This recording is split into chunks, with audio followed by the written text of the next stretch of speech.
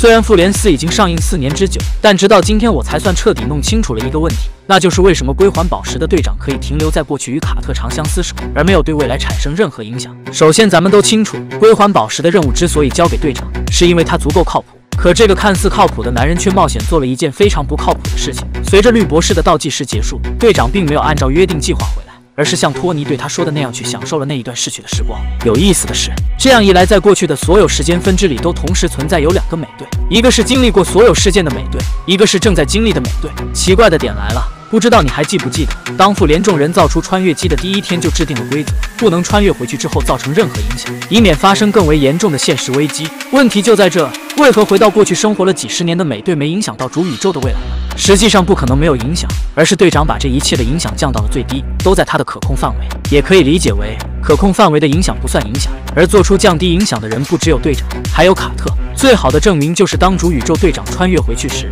隔了一层透明玻璃，他都选择性失明。要知道，卡特好歹也算是那个年代的顶级特工，难道一层玻璃真的就蒙住了他的眼睛？事实就是，卡特正在按照家里那位队长的要求。让历史走在正轨之上。其次，在美队二电影里，当时咱们都知道了卡特队长已经有了家庭，可镜头之中只有她和孩子们的合影，并没有展现她丈夫的容貌。现在咱们知道了，因为她的丈夫正是回去的队长。她知道今天那个解除冰封的自己会来看望卡特，所以才抹除掉了有关自己的所有痕迹。当小美队穿越过去，她最终才敢现身，将盾牌交给猎鹰，完成自己最后的使命。但不得不说，队长这一做法真的十分自私。几十年的时间，万一泄露秘密，又或者遇到某种不可抗力半路死，不但完不成最后交接盾牌的闭环，严重的还将整个现实世界拉下了水。